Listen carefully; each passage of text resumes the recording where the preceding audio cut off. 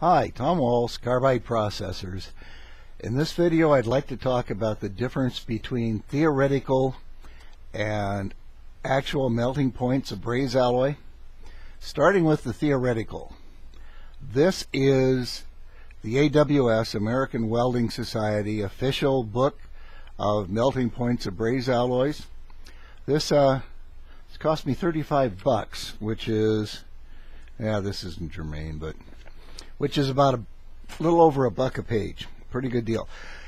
Anyway, I had a customer call. We sold him some braze alloy that had a melting point of 1305, 1305 degrees Fahrenheit. This guy's a really good engineer, really good lab, big company. He put it in an oven, ran it up to 1305 degrees Fahrenheit, let it cool, and the braze alloy didn't flow. He wanted to know why. And this brings up uh, a bunch of things. And I've done a blog post on it, which may do a better job explaining than I do in this video. But he had used a couple of different braze alloys. He'd used bag 3, which is a 50% with cadmium, that did that was a had a melting point, uh, a liquidus point of 1270 degrees Fahrenheit. When they ran the oven up to that point, um, it melted. But he wanted to use a cadmium-free braze alloy, so we suggested a couple, and he went with a bag 24 which is a 50% braze alloy without cadmium. The first alloy, the bag 3 with cadmium, uh, incidentally, bag is BAG dash number 3. Uh, B stands for braze alloy, AG stands for silver. And this is the way the American Welding Society classifies alloys. Anyway, different alloys have different chemical compositions and because they have different chemical compositions, they melt differently. Some alloys hit temperature, melt, and flow. Some alloys hit temperature and start melting and then flow out.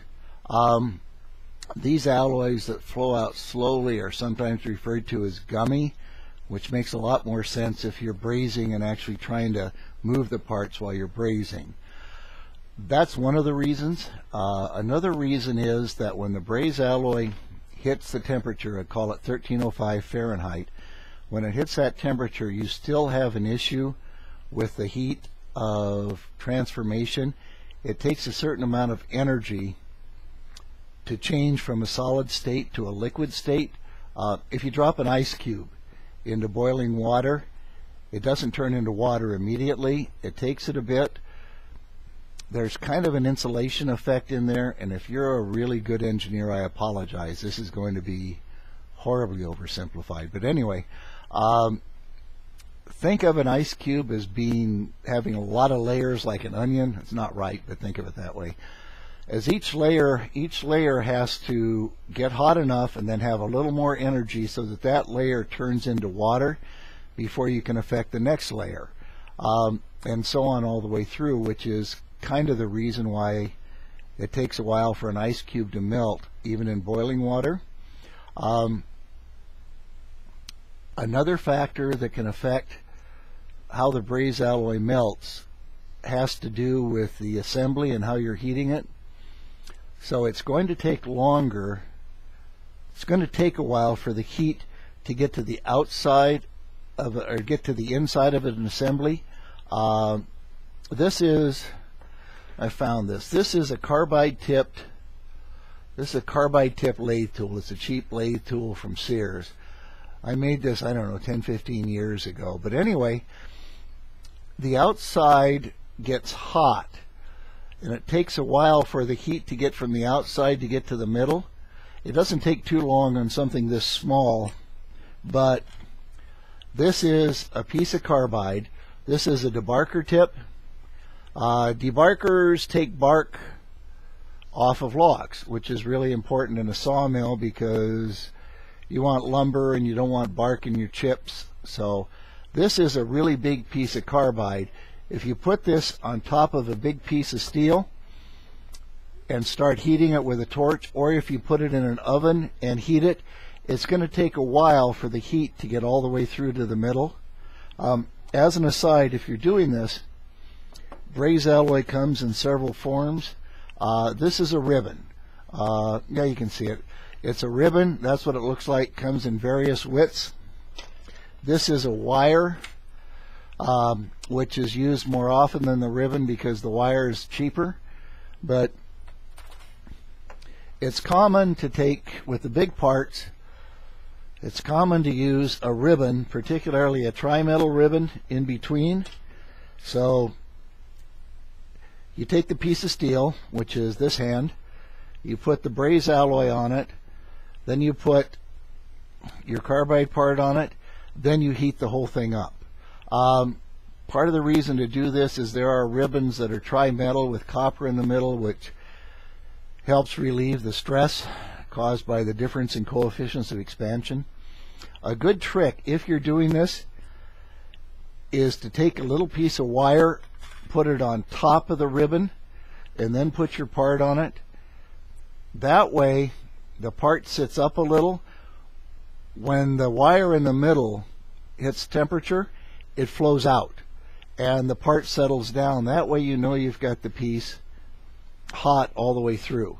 Uh, now that I look at it, yeah, you can see it. You can, these are two different pieces, uh, two different two different pieces from two different kinds of braze alloy, and you can see that there's a difference in the flow patterns.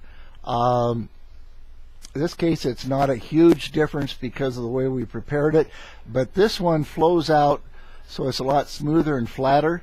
This one actually has a hump in the middle.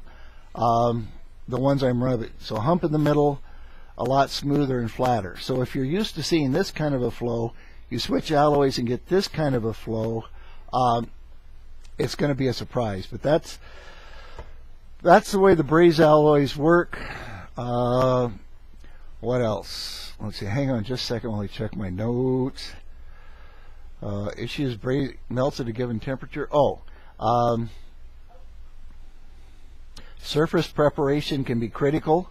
Um, if you have if you have a dirty surface, if you have free carbon on carbide, if you have oils or greases on steels or other metals, um, you can get the braze alloy will go from flat or a wire ball up like spitting on a grill. Uh, strangely enough, apparently everybody in the world has spit on a grill at one time or another and watched it run around. But braze alloy will do that if the surface isn't clean. So that can affect that can affect how it flows out. The only real figure I've seen between theoretical and actual practice was in a NASA tech brief decades ago. They used the figure 50 degrees Fahrenheit. So if the theoretical melt point is 1305 Fahrenheit, you add 50 degrees and go up to 1355 Fahrenheit. If you're really, really temperature sensitive, you can take your oven up to 1305, hold it there, and then let the energy soak. Oh, there it is. Let the energy soak in. And what happens there is the energy soaks in so that the middle eventually gets up to the 1305 too, even though it's insulated by the rest of the assembly. 1305 is a rule of thumb. It's a good rule of thumb. It works really well in actual practice too. So that's some of the reasons why there is a significant difference between the theoretical melt points and what you're going to see in actual practice. Thank you.